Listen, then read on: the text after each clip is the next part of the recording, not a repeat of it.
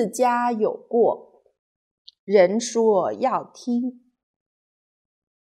当局者迷，旁观者醒。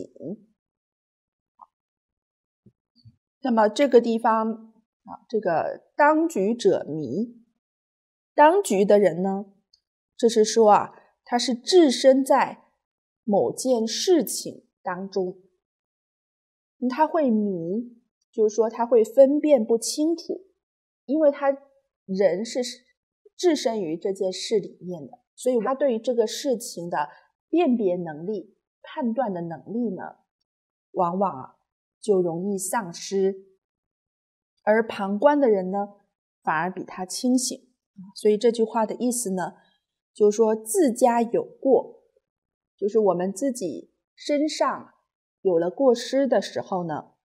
人说要听啊，我们要有一种雅量，有这种心量，要接受啊别人的劝勉，别人说啊劝勉我们，我们要听从啊，所以是知过改过的人啊，他才能够成为圣贤君子啊。而当局者迷，旁观者醒。就是当事的人呢，他置身在这个事情当中啊，往往分辨不清楚；而旁边冷眼旁观的人呢，往往啊比我们更加清楚。那么，所以我们在生活当中也有很多这样的经历。啊，比如说呢，我们在家庭里面，那么对于我们啊，在跟老师、同学相处，或者是外出工作的时候啊，我们自己因为是当局者嘛，很多事情呢，往往是看不清楚的。可是像父母亲啊，因为他对我们非常的关心，在很多事情上他有经验，又是一个旁观者，那么常常就会提醒我们啊，说这个人呢。你不要轻易和他结交，啊，这件事情呢，你应该要怎么做？可是当我们还年轻的时候啊，有时候这个年轻气盛，听不进父母跟长辈的劝告啊，啊，往往觉得爸爸妈妈为什么要管我们这么多？啊，老是唠叨个没完，啊，说了这么多提醒的话，啊，我们也听不到耳朵里面去。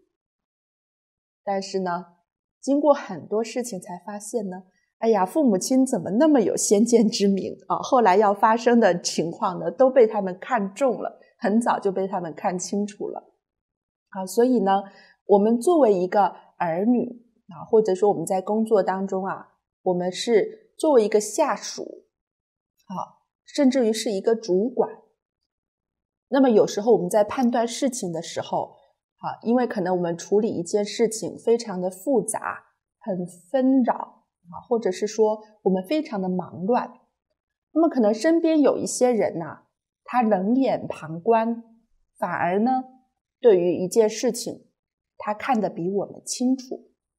那么这个时候啊，我们就不能意气用事啊，要经常呢，能够听取别人的劝告。能够去听取别人的意见，那么即使呢，他有时候提出来的不一定是正确的啊，但是呢，我们依然呢啊，能够这个愿意去呃谦虚的去接受啊别人的劝告，然后呢，再理智的去判断。所以说，有时候往往我们自身的过失啊看不清楚。那么当别人冷眼旁观，看出来并且帮我们指出的时候啊，我们就不能够这个意气用事啊，听不进去人家的劝啊。好，那么关于这个当局者迷，旁观者醒。啊，师父上人呢，对于这样的一句谚语呀，也曾经有过一段开示，就是说，为什么当局的人他会迷呢？因为当局者啊，往往他这件事情对他本身是有非常切身的利害关系啊，比如说这个事情是和他的这个财产有关的。啊，或者是和他的地位有关的等等，总是有利害关系。所以在这个利害的当头呢，他本身的分别跟执着啊，就会特别的重。那我们知道，当一个的人的分别执着很重的时候，他就很容易产生迷惑啊，对于一些事实真相就不容易看得清楚。可是为什么说旁观者清呢？就是因为旁观的人呐，他呢，就是说这件事情跟他本身是没有利害的关系的，他没有利害得失在其中，那么这个时候呢，他就不会有非常深重的分别执着啊，因此呢，对于这件事情啊，他就能够看得清楚。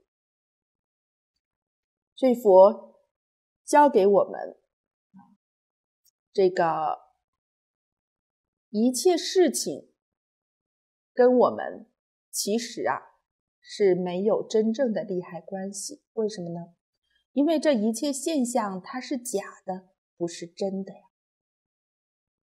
一切法从心想生啊。好，在佛经里面教导我们，这宇宙之间的。万事万物都是唯心所现，唯识所变。所以，到底有没有这些利跟害呢？啊，其实这些利跟害啊，都是假的，都不是真的。我们凡夫往往啊，误以为它是真的，才会产生了这么多的分别跟执着。所以。圣贤佛菩萨啊，这祖师道三家的圣贤智慧呢，就是教我们如何在我们的人生当中提升自己的智慧，提升自己的灵性。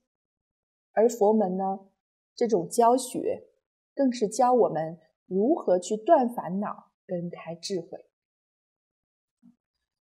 所以，如果我们能够真正学。